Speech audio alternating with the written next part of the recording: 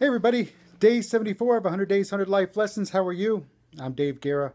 And today's life lesson is real simple. Real simple. Especially for those of you that, well, you know who you are.